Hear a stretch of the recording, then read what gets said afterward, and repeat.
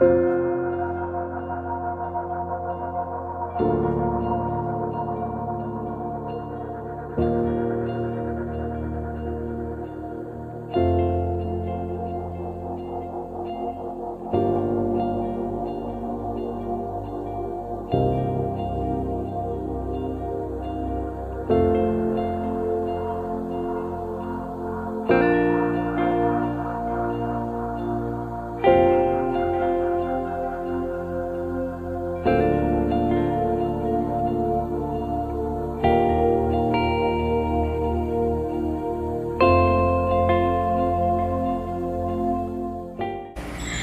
දැන් මේ ඇවිල්ලා ඉන්නේ මාතලේ අලු විහාරය බලන්න. මාතලේ අලු විහාරය කියන්නේ ඓතිහාසික වශයෙන් වැදගත්කමක් තියෙන පන්සලක්. ඉතින් අපි බලමු මාතලේ අලු විහාරය කොයි වගේ තැනක් වෙයිද කියලා.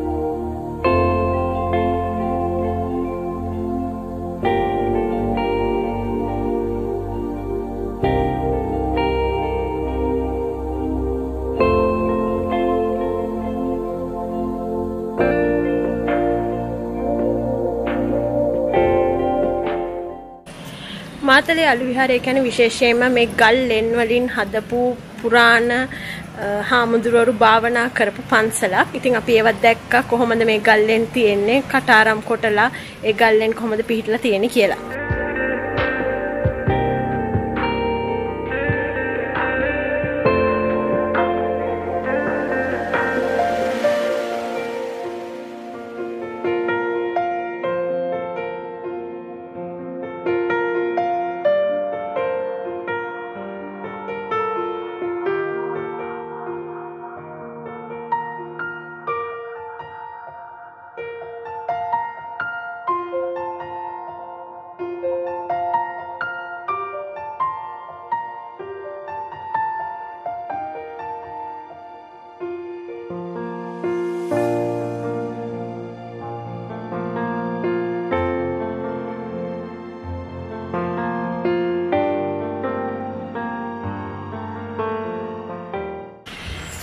අපි දැන් මාතලේ අලු විහාරය බලලා ඉවර කරා. ඔයාලට පේන්නේ නැති ඓතිහාසික වැදගත්කමක් තියෙන ස්ථානයක් කියලා මේක. ඒ වගේම පුරාණ දොරවල් උළුවහු ඒ වගේ ගොඩක් පුරාණ දේවල් අපි දැකගත්තා.